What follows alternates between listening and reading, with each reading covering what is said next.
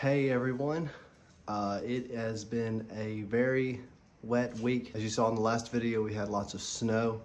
So then all that snow melted.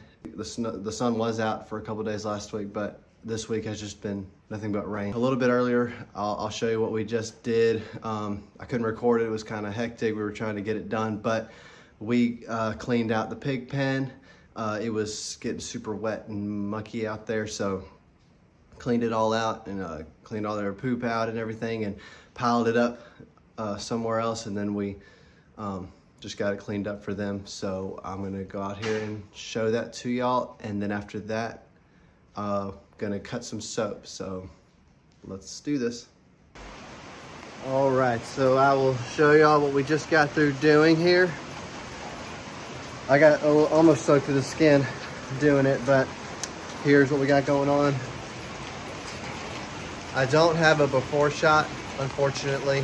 I didn't have my phone on me because I didn't want it to get wet, but it was super wet in here and mucky.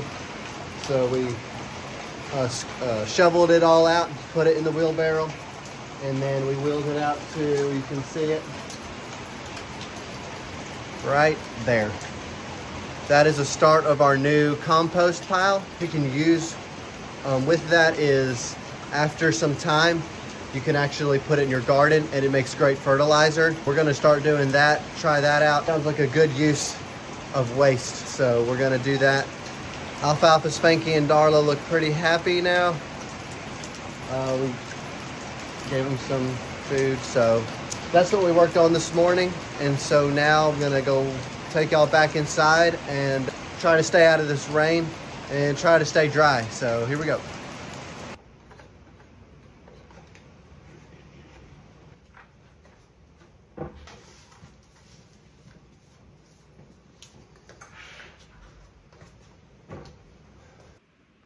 Just got the cutter cleaned off and I actually had the awesome privilege of making the soap for the first time.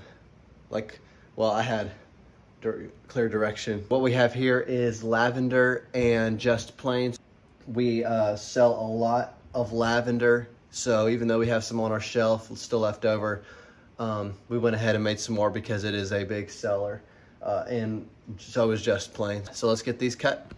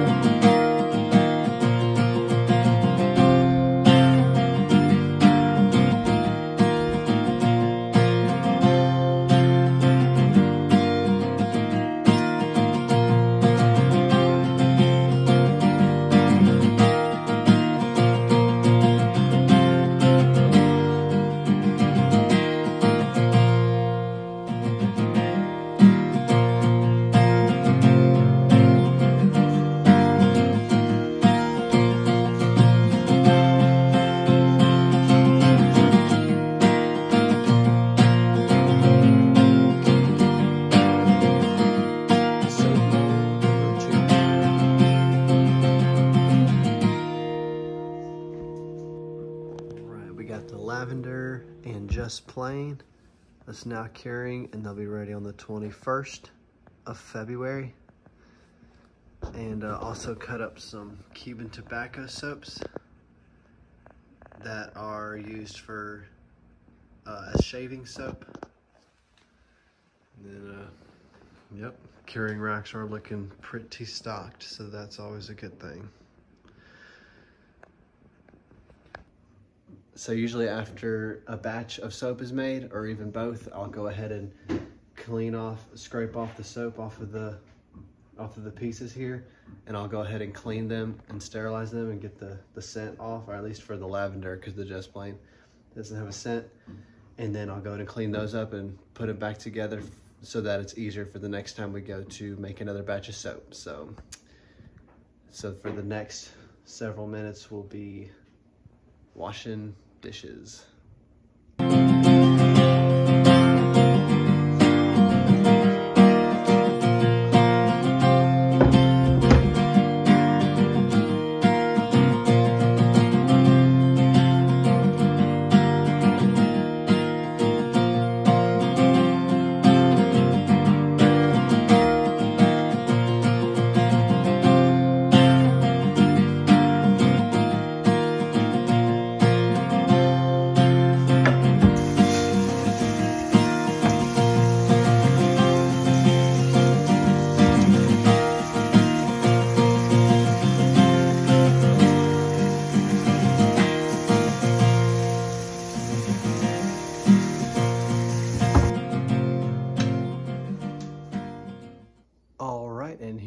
Fun part.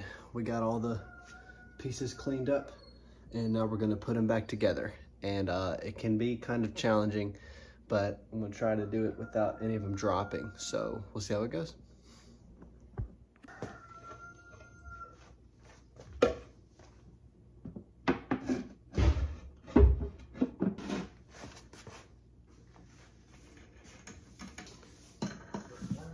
Here is the next pen we're going to clean out.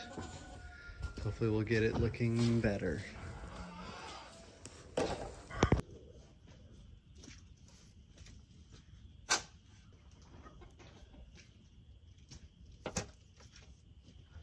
Okay, this is as far as we got for today to get this stall cleaned out. And here we are, the next day. Uh, got all of that mucky poop out of here. Sprinkle some of this down. It's supposed to help with the smell of it. Uh, and then put some fresh hay down. And then uh, soon we'll be moving our bigger goats into this area. We're gonna build a fence out here. Hopefully today if we have time. So that's what I've been working on this morning.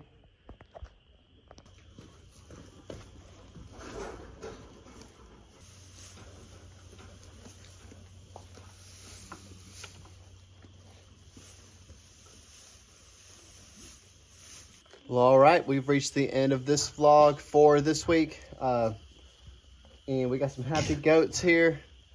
This is Ava, and this is Allie. They are the only two Saanen goats that we have. And they're a lot bigger than our Nigerian dwarf goats. They got a shelter over there.